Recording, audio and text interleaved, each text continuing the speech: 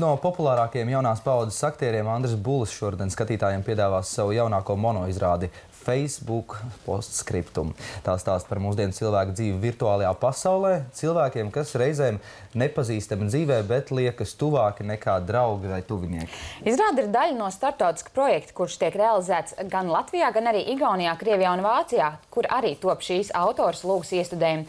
Latvijas iestudējuma režisori ir Gaļina Polišķuka, bet mūsu studijā vienīgais šīs izrādes aktieris Andris Bulis. Labrīt. Labrīt, Andri.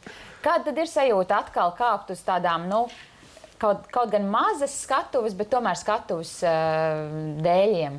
Ļoti patīkami, satraucoši. Es gan esmu dažas izrādes jau nospēlējis, un es esmu sajūtis pirmo to vilni, kas nāk, kad atkal stāv uz šīs skatuves, nu, monoizrādes skatuves, un arī pirmās atsauksmes un uh, kritiku. Es esmu atkal procesā, un, un jāteic, ka nebija viegli atgriezties spēlējot vienam, jo tomēr, kad es skatos kopā ar kādu, daudz vieglāk dalīt šo prieku un bēdas. Bet neko, skatītāji nāk, un man ir prieks. Un, ja mēs runājam par Facebook, tad es arī, kā jau teicu, dabūju pirmās atsauksmes, pirmo triecienu. Patīk.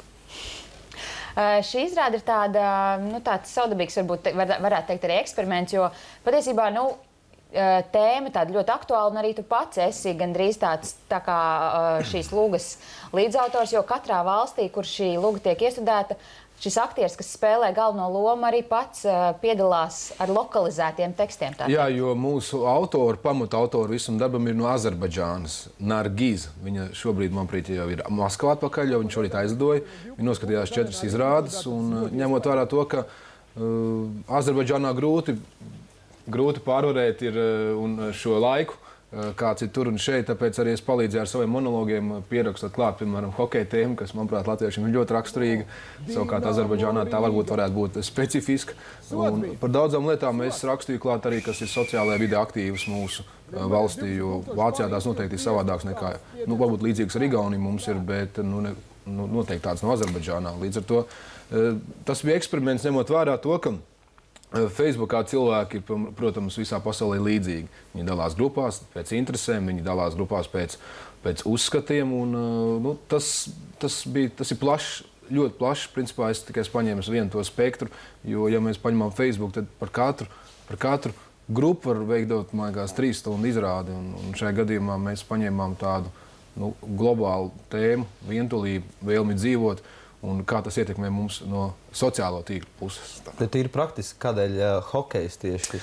Nu, tad, kad sākās sezona, vai ir iespējams kādas sporta palaist garām, vai tur nesadzirdēt kaut ko par hokeju? Arī šorīt mēs to dzirdējām. Un, uh, bet kā hokeja tēma nav tik daudz cilvēku šajā izrādē kā hokejs kā tāds. Jo, uh, Šeit ir stāsts par draugu, kurš arī iet uz hokeju, kurš spēlē hokeju. Un, varbūt tieši hokejs latviešiem ir tā tā vide, kur mēs noskaidrojam, kas ir draugs, kas ir uzticīgs plecs un varbūt nemaz nav tik viegli būt hokeistam, jo visi māca spēlēt hokeju, bet cik ir kādreiz spēlējuši to hokeju.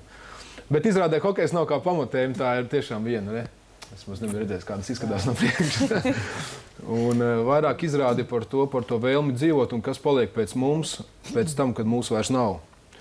Man ir uh, fināla monologs, kurā es saku, ka Viss, kas nepieciešams. Nu, ja mēs pasakām vārdus, tie paliek atmiņā, bet to, ko tu ieraksti sociālajā tīklā, tas paliek vienmēr. Un varbūt būtu jādomā, varbūt nav jādomā, kas paliks pēc mums, kad mūs nebūs. Un varbūt brīžiem tas sociālais profils ir daudz spēcīgāks par to, kas atrodas,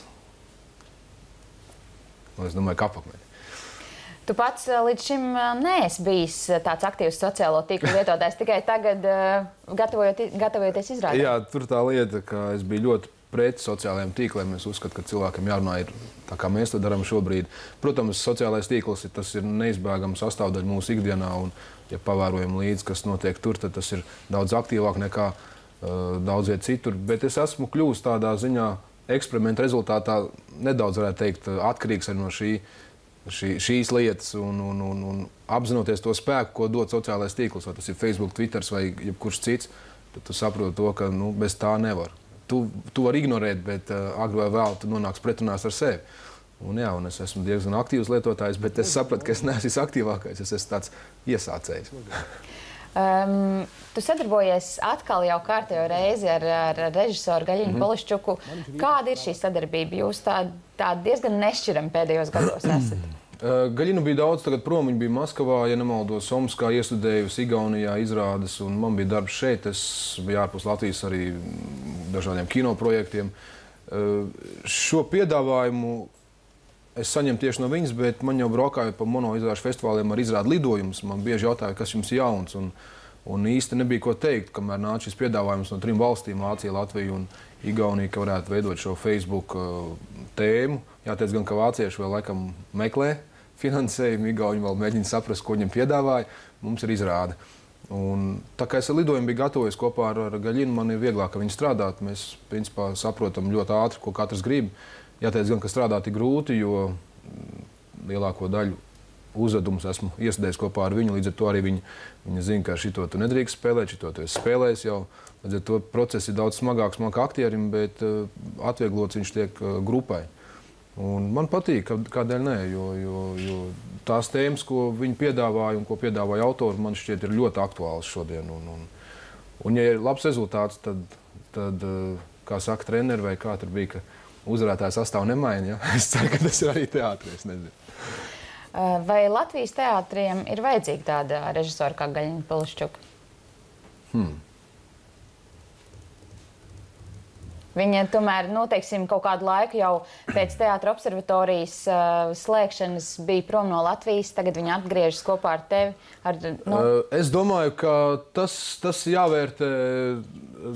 To novērtēt skatītāji. Ja šobrīd mums uz izrādēm nāk skatītāji, un, un es zinu, ka ir ielikts papildu izrādes tieši šai monoizrādē, kas varbūt nav tas vieglākais žanrs skatītājiem, jo nav viegli skatīties uz vienu aktieru, kurš tur teju divas stundas stāsta kaut ko ļoti aktuālu. Bet, ja skatītāji nāk un ir ielikts papildus izrādes, tas nozīmē, ka nu, es nedomāju, ka tas tikai mans faktors, kas ir tik superīgs, ka tagad nāk skatīties man. Tad tur ir kaut kāda ķēdes sistēma, kādēļ cilvēki nāk skatīties. Viņam interesē tas, ko režisors iestādēs, kā tas izskatās, kas ir tā tēma. Un, un vai skatītājiem vajadzīgs, es domāju, ka noteikti tur nav šaubu. Kāds? Jautājums ir tikai, vai vajadzīgi teātra direktoriem.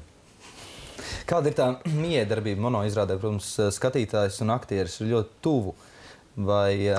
ļoti tuvu bieži. es šajā izrādē, jā.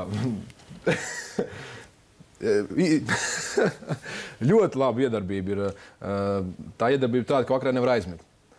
Tā enerģija tik liela un arī citreiz ļoti grūti, jo skatītājs sēž tu. Un, skatītājiem patīk tomēr brīžiem just to distanci, kā tas lielajā zālē.